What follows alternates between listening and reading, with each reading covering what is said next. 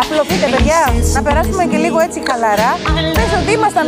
Πώς βολεύεστε να κάθεστε σε μια πολυθρόνα. Πες ότι είχα έρθει σπίτι σας, ρε παιδί μου. Μπράβο, για να πάρουμε ο καθένας τη θέση που τον βολεύει. Όπως θα μας Πρέπει να είμαστε μόνο στη μένη, δηλαδή στη τηλεόραση. Εντάξει. Έτσι.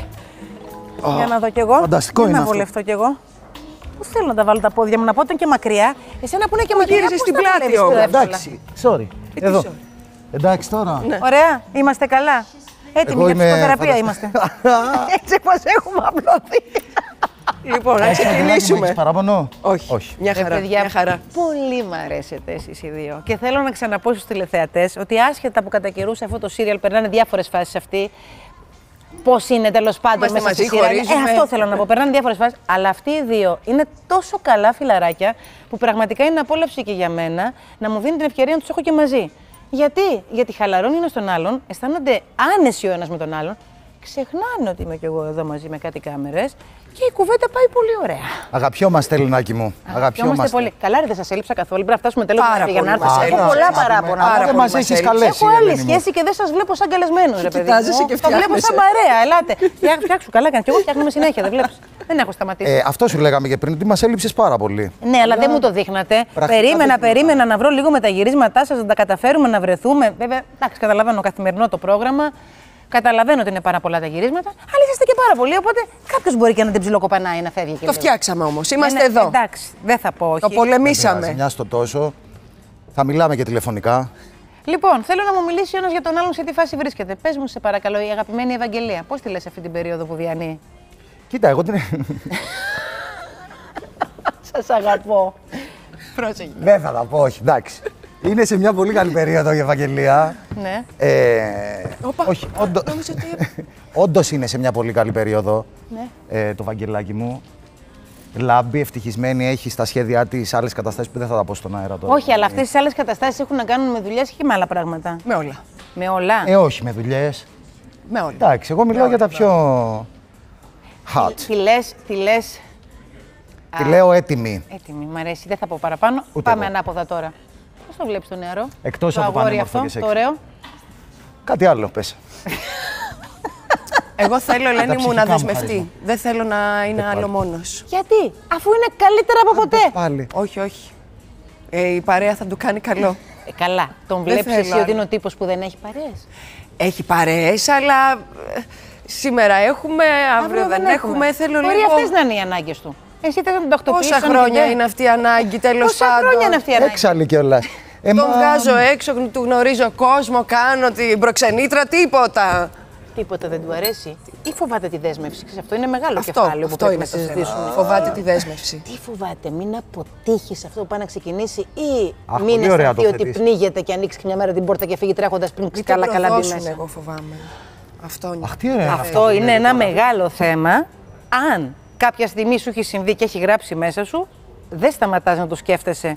Δεν περνάω και άσχημα, βέβαια. Μόνο Καλά, αυτό το είδαμε, παιδί μου. Φαίνεται. Εννοείται. Μια χαρά Πάρα το πολύ είδες. καλά. Καλά, δεν το συζητάω. Αυτό το Μια βλέπω. χαρά, άλλο λέμε εμείς. Άλλο λέμε, για να τα πούμε εμείς τα δικά μα. Οπότε θεωρείς ότι σε αυτή την κατεύθυνση πρέπει να σπρώξουμε το φίλο μας; Ε, βέβαια.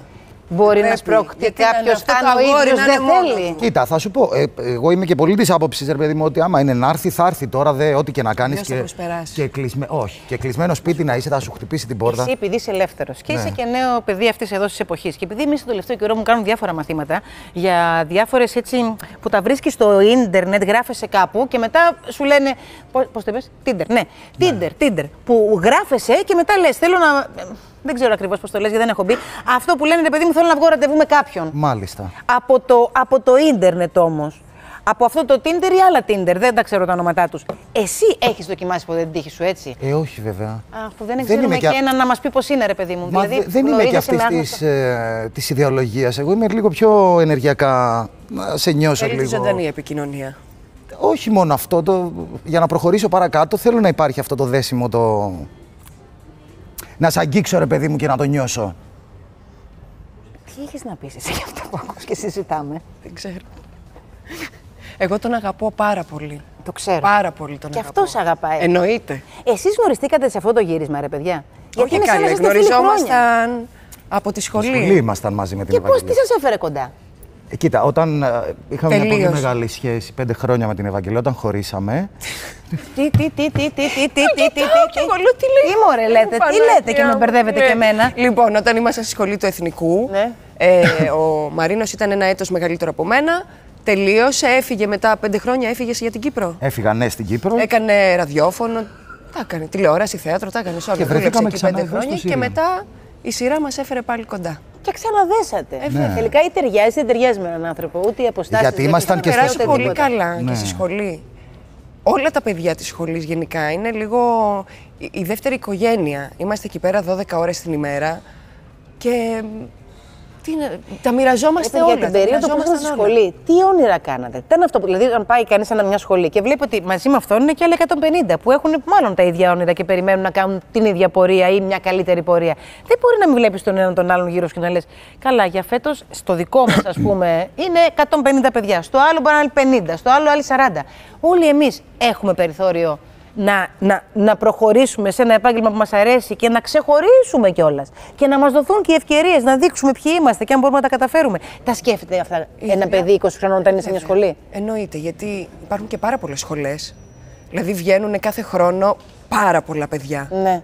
Οπότε, πού, πού να πρωτομπείς, δηλαδή και τότε που βγήκαμε δεν υπήρχε ούτε τηλεόραση ούτε τίποτα, δηλαδή δεν δουλεύανε. Εννοείστε μόλις γινόντουσαν είχε πολλές ξεκινήσει. σειρές. Δεν δου- ναι, δεν Μπορεί να γινόταν. πέσατε στην περίοδο που κάπως είχε Μόλις Το 11 είχε τώρα. ξεκινήσει Το η κρίση, 11 το πάρα 11. πολύ Α, το δύσκολη 11, ε, κατάσταση. βέβαια. Και ξαφνικά ου, μαζεύτηκαν Αλλά τα πάντα. δόξα τω Θεώ. Αλλά να σου πω κάτι, Είμαστε Ελένη τυχεροί. μου, νομίζω ότι όλα είναι στο χέρι μας και όλα είναι στο μυαλό μας. Εγώ προσωπικά, ό,τι όνειρα είχα τότε, τα περισσότερα τα έχω πραγματοποιήσει, τα έχω εκπληρώσει. Τι είναι αυτό που σας έδωσε ρε παιδιά την ευκαιρία να, να, να μπείτε; Δηλαδή, είσαστε στη σχολή ή τελειώσατε τη σχολή. Και λέω, αυτό που περιμένουν όλοι που λένε δεν θα μου έρθει μια πρόταση έτσι που και να μ' αρέσει και να μου δώσει την ευκαιρία να με δουν και άλλοι. Ποιο ήταν αυτό το δικό σας ξεκίνημα που σας έβαλε μέσα στα πράγματα; Κάνα το ξεκίνημά σας. Ε, εγώ μόλις τελείωσα τη σχολή, μου έγινε η πρόταση μετά από λίγο καιρό για το σπίτι της Έμας στο Μέγκα που είχα κάνει. μάλιστα. Παρ' όλα αυτά δεν είχα πάει σε οντισιόν. Όταν είχα δώσει τις διπλωματικές μου στο Εθνικό, Ναι. ε, έρχονται κάποιοι άνθρωποι από τα κανάλια, είναι η δουλειά τους τέτοια και βλέπουν τα παιδιά που βγαίνουν ε, από τις Μάλιστα. σχολές. Οπότε με φωνάξανε και έκανα μετά οντισιόν για το σπίτι της Έμας. Ωραία. Και Καλά Όπως σε πήγε έτσι το μου πήγε ξεκίνημά καλά. σου. Εσένα; Εγώ δεν πιστεύω στην τύχη, ρε παιδί μου, και σε όλα αυτά. Πιστεύω ότι ό,τι είναι να έρθει, θα έρθει την ώρα που πρέπει. Δεν έχω προσπαθήσει, δεν έχω κυνηγήσει κάτι ο- και προσωπικά και επαγγελματικά. Ε, ήρθαν όλα τη σωστή στιγμή ε, στο σωστό μέρος. Δεν, δεν Εντάξει, ξέρω δεν πώς έχουν να το έρθει εύκολα. εξηγήσω. Έχουμε πάει δηλαδή και σε Προφανώς. οντισιόν που δεν μας Έχουμε έχουν. δουλέψει ε, γι' αυτά. Για το θέατρο. Προφανώς, μας δεν είναι έχουν ότι πάρει. όλοι όταν βλέπουν κάποιον λένε Ναι. ε, κατευθείαν Βέβαια. αυτό είναι που Αλλά κάνω. νομίζω έχει να κάνει και το, με το πόσο ποθείς κάποια πράγματα. Ε, πόσο είσαι έτοιμος να τα ελκύσεις εσύ; Εγώ θεωρώ ότι ό,τι έχω κερδίσει μέχρι στιγμής στη ζωής, μου, στη ζωή μου, ότι εγώ το τράβηξα. Για πες. Όλα.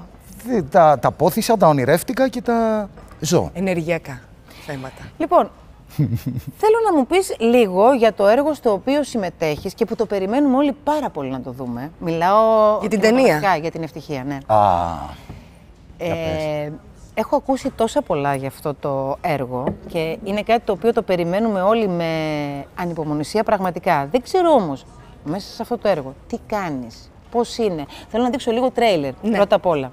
Η ταινία δεν βγαίνει σήμερα αύριο, αλλά βγαίνει κάπου εδώ 19 κοντά. Δεκέμβρη. Μπράβο.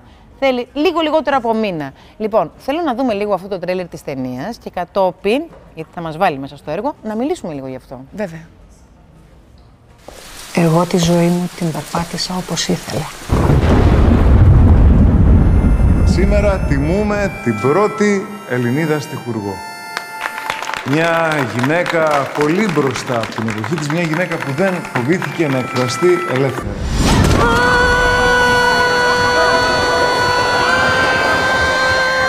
Γλιτώσαμε από του χάρου τα δόντια. Εχμαλωσία περάσαμε.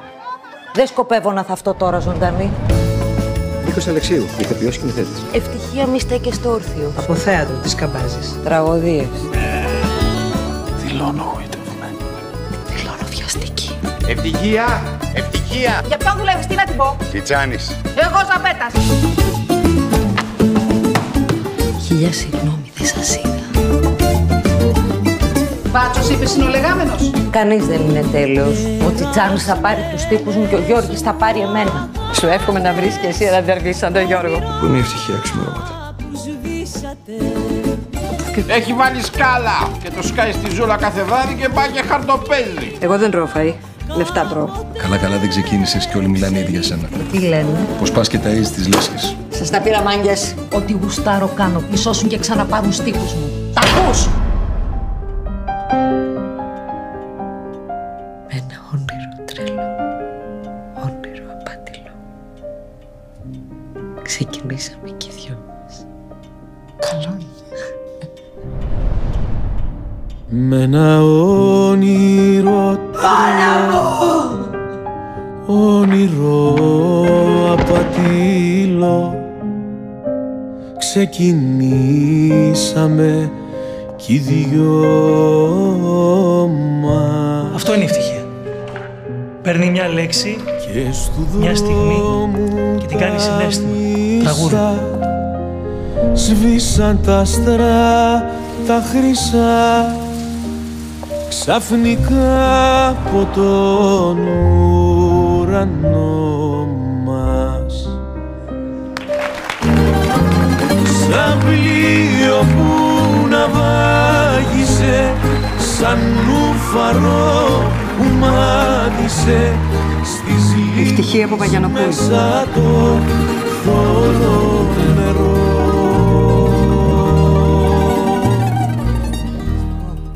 όλοι υγράμμιθηκαν τα μάτια μας και το μόνο που είδαμε ήταν το τρέιλερ. Δεν είδαμε τίποτα παραπάνω. Το τρέιλερ που ετοίμασαν για την ε, ταινία. Εγώ κάθε Πολύ φορά δυνατό. που το βλέπω συγκινούμε Πω, πω. και έχω δει και, και άλλο υλικό και το έχω ζήσει κιόλας μέσα σε αυτό και μακάρι δηλαδή ο κόσμος να έρθει να δει αυτή τη δουλειά. Να είναι είσαι σίγουρη ότι θα έρθει ο συγκλονιστική. κόσμος να δει αυτή τη δουλειά. Η Να είσαι σκηνοθεσία είναι σίγουρη. του Άγγελου του Φρατζή, εξαιρετικός. Ε, Συμμετέχουν Τι να πω. πάρα πολλοί Πάρα ε, πολλοί ηθοποιοί, πολύ η γνωστοί και Κάτια η πολύ Γκουλιώνη που ταλαντούχοι. κάνει την ευτυχία στη νεαρή ηλικία, μετά η αγαπημένη μου η Καριοφιλιά Καραμπέτη, που μπαίνουμε κι εμείς πλέον οι κόρες ε, πιο μεγάλες. Εγώ υποδίωμαι τη Μέρη, τη μεγάλη της κόρη, της ευτυχίας. Ε, Πες μας δύο λόγια για αυτή τη γυναίκα. Η- Μια και ε, έχεις μπει μέσα σε όλο αυτό, έχεις παίξει, έχεις μελετήσει πολύ σίγουρα, σου έχουν μιλήσει. Τι ήταν αυτή η γυναίκα, η ευτυχία Παπαγιανοπούλου; Στο, στο, στο κομμάτι της μιλάω το του Εκτός που ανθρώπινου. ας ήταν μια ξεχάσουμε κορυφαία το- στιχουργός, έτσι έχει Κορυφαία. γράψει όλα τα τραγούδια της είναι βιωματικά. Και μπορεί να μην ξέρουμε ότι τα έχει γράψει εκείνη όλα αυτά τα τραγούδια που θα ακούσετε μέσα στην ταινία ή που, τραγούδια που τραγουδάμε όλοι. Γιατί η αλήθεια είναι ότι τις περισσότερες φορές χρεώνουμε ένα τραγούδι σε αυτόν που το το λέει. τραγουδάει. Και όχι σε αυτούς ή σε αυτόν που το έχει δημιουργεί. δημιουργήσει. Ναι. Ακριβώς. Και είναι άδικο, αλλά το κάνουμε όλοι. Τέλος πάντων, λοιπόν, τα τραγούδια της τα ξέρουμε όλοι. Ναι. Έχουν γίνει τεράστιες επιτυχίες και τα τραγουδάμε ακόμα. Η ίδια όμως. Ήταν ένας πολύ ζωντανός άνθρωπος, αγαπούσε τη ζωή. Α, βέβαια είχε ένα κακό πάθος, τη χαρτοπεξία, οπότε α, υπήρχαν στιγμές δηλαδή που τα πουλούσε όλα στο σπίτι της. Βασικά πράγματα, σόμπες, κουζίνες, γυρνάγαμε δηλαδή στο σπίτι και μπορεί να μην είχαν βασ- βασικά πράγματα. Είχε πουλήσει τη στολή του άντρα της, ο άντρας ήταν αστυνομικός και πούλησε την, ε, την επίσημη στολή που φορούσε στις γιορτές και εκεί γίνεται έτσι και μια σύγκρουση ανάμεσα στο ζευγάρι για το πού έχει φτάσει πλέον ε, η ευτυχία. Πολλά τραγούδια της... Έβγαζε χρήματα. ε, Θέλω να πω, έβγαζε έκανε πολύ δυναμικά. μεγάλη επιτυχία. Δεν ξέρω Δηλαδή, εκείνη την εποχή τι γινόταν όμως. Τι Ναι. σημαίνει ότι κάνουν επιτυχία τα τραγούδια μου, Έβγαζε, αν έβγαζε ο δημιουργός χρήματα, κερδίζει κάτι. Έβγαζε χρήματα, αλλά τα χάλαγε. Μάλιστα. Τα έπαιζε απευθείας. Πολλά τραγούδια της. Ε, δεν γνωρίζουμε ότι είναι της ευτυχίας. Γιατί εκείνη την ώρα έλεγα πήγαινε πριν. σε έναν συνθέτη Α. και της έλεγε Γράψε μου κάτι. Έγραφε. Του λέγε Δώσ' μου δύο εκατοστάρικα και έφυγα. Δηλαδή και έπαιρνε μετά τα δικαιώματα ο άλλος. Κατάλαβα. Πολλά τραγούδια μπορεί να υπάρχουν που δεν γνωρίζουμε ότι είναι δικά της. Λοιπόν, θέλω να περάσουμε να δούμε μαζί ένα αφιέρωμα που έχουμε κάνει για την ζωή της ευτυχίας Παπαγιονοπούλου. Ούτως ή άλλως θα έχουμε πολλά να πούμε και προσεχώς όταν θα πλησιάζουμε προς την ταινία. Αλλά σήμερα, μιας και είσαι εδώ, ήθελα λίγο να μπούμε σε μια πραγματικά σπουδαία ταινία που την περιμένει ο κόσμος να τη δει. Και η που Μέρη, πιστεύω. και Ναι. η Μέρη που υποδίωμε είναι, λέμε, είναι μια μικρή ευτυχία.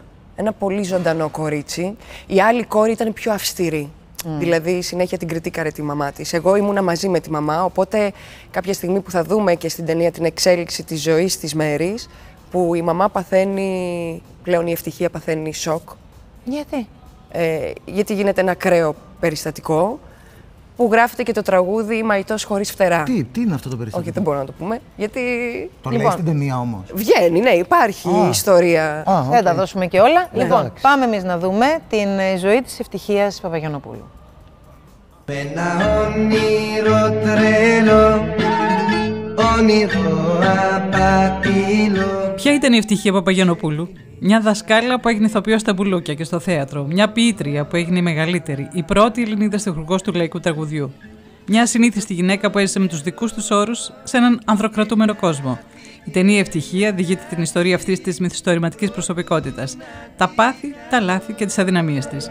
Σαν πλοίο που ναυάγησε Σαν ουφαρό που μάτισε Γεννήθηκε το 1893 στο Αιδίνη της Μικράς Ασίας. Παιδί ευκατάστατης οικογένειας, ήταν έξυπνη, ατίθαση, ασυμβίβαστη. Μετά τη φυγή της από την Ατάλεια, λίγο πριν την καταστροφή του 22, καταφεύγει στον Πειραιά. Εκεί γνωρίζει τον πρώτο της σύζυγο, Κώστα Νικολαίδη, με τον οποίο θα αποκτήσει δύο κόρες, τη Μαρία και την Κέτη. Πρόσφυγες και οι δύο αγωνίζονταν να τα βγάλουν πέρα. Η ευτυχία παραδίδει μαθήματα και ταυτόχρονα γράφεται στο πανεπιστήμιο. Γυναίκα εγωιτευτική και ιδιαίτερη περσόνα, δεν είναι διόλου τυχαίο που ασχολήθηκε με το θέατρο παρά τις αντιρρήσεις του άντρα της. Η καριέρα της θα απογειωθεί στο θείασο της Μαρίκα Κοτοπούλη και στο Εθνικό. Το 1932 πεθαίνει ο πρώτος της σύζυγος και την ίδια χρονιά παντρεύεται από τρελό έρωτα το συνταξιούχο αστιφύλακα Γιώργιο Παπαγιανόπουλο. Μαζί με τις κόρες της μετακομίζουν στον Κολονό. Η φίλη της Μαρή Κανίνου ήταν εκείνη που διέκρινε πρώτη το ταλέντο της να γράφει αβίαστα υπέροχα ποίηματα. Εκείνη την προέτρεψε να γνωρίσει τον Βασίλη Τσιτσάνη για να του δώσει στίχους. Πράγματι, ο σπουδαίος λαϊκός συνθέτης εντυπωσιάστηκε από τη δουλειά της και μελοποίησε το πασίγνωστο σήμερα στα σκαλοπάτια σου εγώ σφυρίζω. Τα σκαλοπάτια σου εγώ σφυρίζω Το τραγούδι αυτό, όπως και τα καβουράκια, γνώρισαν μεγάλη επιτυχία. Πολύ σύντομα και άλλοι συνθέτες άρχισαν να ψάχνουν ευτυχία, να ζητούν στίχους της. Και εκείνη έγραφε. Έγραφε κατάπαυστα σε οτιδήποτε της έπεφτε στα χέρια, σε χαρτοπετσέτες και κουτιά τσιγάρων. Τα τραγούδια της πολλά και σχεδόν όλα επιτυχίες. Αντιλαλούνε τα βουνά, δύο πόρτες έχει ζωή, η μαϊτός χωρίς φτερά, ηλιοβασιλέματα, όνειρο απατηλό, περασμένες μου αγάπες. Περασμένες μου αγάπες Γράφω όταν με πνίγει μια παλιά θύμηση, όταν με βαραίνει ο πόνος. Για μένα το γράψιμο είναι ένας τρόπος για να ξεφεύγω από τούτο το θλιβερό περιβάλλον. Στην ηλικία μου βλέπεις, ο άνθρωπος ζει με τις ανεμνήσεις του. Και οι δικές μου είναι πολύ πικρές, αποκάλυπτες σε μια από τις ελάχιστες συνεντεύξεις που έδωσε προς το τέλος της ζωής της. Συνεργάστηκε με τον Τζιτσάνι, τον Καλδάρα, τον Χατζηδάκη, τον Χιώτη και τον Ξαρχάκο. Τα τραγούδια της ερμήνευσαν ο Κοζατζίδη, η Κέντι Γκρέι, ο Μπιθικότση, η Μεριλίντα, ο Αγγελόπουλο, η Μοσχολιού και πολλοί ακόμα. Το τελευταίο βράδυ μου Η ζωή της σημαδεύτηκε από την απώλεια της κόρης της Μέρης το 1960. Έκτοτε δεν έβγαλε ποτέ τα μαύρα ρούχα. Για να αντέξει το χαμό του παιδιού της, το έριξε στα χαρτιά. Έπαιζε παντού, σε σπίτια, σε καφενεία, σε πολυτελή σαλόνια και σε καταγόγια. Όχι κουμκάν, αυτό το παίζουν οι ανιαρές γριές, έλεγε. Είχε θεστεί στην μπόκα. Για να τροφοδοτεί το πάθος της για την Τζόχα, άρχισε να πουλά τους τοίχου της χωρίς όνομα και να παίρνει γρήγορα τα ποσά που ήθελε. Το κακό είναι ότι πουλούσε τραγούδια για σε άθλιους τυχουργούς που είχαν μια οικονομική επιφάνεια και καμώνονταν τους σπουδαίους. Τραγούδια που αφήσανε στους αγοραστές περιουσίες ολόκληρες είχαν πουληθεί από την ευτυχία για 4-5 δεκάρικα, έγραψε στη βιογραφία τους ο Αλέκος Ακελάριος. Η σπουδαία ευτυχία Παπαγιανοπούλου πέθανε πάμπτωχη σε ηλικία 79 ετών, στις 7 Ιανουαρίου του 72, έχοντας στο πλευρό της την εγγονή της Ζερέα που τη φρόντισε ω τα γεραματά της. Τα τραγούδια της, μικρά αριστοργήματα που μέτρησαν τις πληγές της και τον καημό ενός ολόκληρου λαού, θα ζουν για πάντα. Όλα είναι ένα ψέμα Μια ανάσα, μια Είναι ένα ταξίδι μέσα στο χρόνο. Μιλάμε τώρα από μικρασιατική καταστροφή μέχρι που πέθανε το 70. Καταπληκτικό. Το περιμένουμε. Είπες τον άλλο μήνα, λίγο πριν τις 20, 19 19 Δεκεμβρίου. Πολύ ωραία. Το, το περιμένουμε όλοι μας. Είπαμε τα πάντα για την ταινία στην οποία συμμετέχεις πρωταγωνιστής και την περιμένουμε πώς και πώς τον άλλο μήνα. Οπότε χρόνο πολύ δεν έχω για το θέατρο. Θέλω να το πάρεις λίγο επάνω σου και να μου Ναι. πεις. Πού Λοιπόν, βρίσκεσαι; Είμαστε στο σύγχρονο θέατρο, το Δείπνο, σκηνοθεσία Λίλη Μελεμέ, με μια υπέροχη ομάδα. Στέλιος Μάινας, Άννα Μαρία Παπαχαραλάμπους, Λάζαρος Γεωργακόπουλος, Γιώργος Κοτανίδης. Τετάρτη, Παρασκευή, Σάββατο, Κυριακή. Και τώρα δίνω την μπάσα στο Εντάξει, μπορούμε Μαρινάκο. να μιλήσουμε κι εμείς επιτέλους. Ναι, βεβαίως. Εγώ τα είπα αυτά που πρέπει να πω. Μάμα Ρόζα. Μάμα Ρόζα, Ελενάκη μου στο θέατρο Αλίκη με την Βίκη τη Σταυροπούλου, τον Λατρεμένη. Παναγιώτη. Πολλά Μια φιλιά, πολύ θέλω να όμορφη ομάδα. Ε, δεν ξέρω, περνάω εξαιρετικά. Εγώ είναι και η πρώτη μου δουλειά θεατρικά στην Ελλάδα. Ναι. Οπότε συγκυριακά είναι πολύ ωραίο αυτό το παρανοϊκό πράγμα που γίνεται και Τι στην παράσταση γίνεται, και τι πίσω. γίνεται; Τίποτα. Καταρχάς, έχω τεράστιο πρόβλημα με την κυρία Σταυροπούλου. Ε, το λέω τώρα έτσι πολύ σοβαρά. και- Φοβάσαι ότι θα σε πιάσουν τα γέλια. Έχει, με έχει ερωτευτεί παράφορα. Τρελαίνομαι. Με, με παίρνει τηλέφωνα τα βράδια, κλαίει. Βίκυ! Σε θέλω, δεν έχει βάλει κόσμο να με ενοχλεί. Δε, Βίκυ, αν μας Τρελαίνομαι. βλέπεις, θα καλέσω αστυνομία και θα Βίκυ, κινηθώ αν νομικά. βλέπεις, πάρε τηλέφωνο. Δεν υπάρχει. Βίκυ, αν βλέπεις, έλα όπως είσαι να τα πούμε από κοντά. τα περιμένω. Θα στα όπως πει, και θα εγώ. στα πει. ξέρω. Τετάρτη με Κυριακή. Είναι, δεν ξέρω, περνάμε εξαιρετικά όλοι, περνάει ο κόσμος φανταστικά. Είναι, Ελένη, δεν θα σου πω να έρθεις να το δεις, θα ήθελα να έρθεις. Σταμάτα, σε αγαπώ σου έχω πει. λοιπόν, κλείνω. Θέατρο Αλίκη, ο αγαπημένος μου Μαρίνος Κόνος, όλος και τον ευχαριστώ πάρα πολύ που ήταν εδώ. Εμείς Και ευχαριστούμε. Θέατρο, σύγχρονο θέατρο. Το δείπνο. Το δείπνο, εκεί που βρίσκεται η Ευαγγελία Συριοπούλου, που και αυτήν την ευχαριστώ πολύ που ήταν σήμερα κοντά. Εμείς ευχαριστούμε πολύ που μας κάλεσε.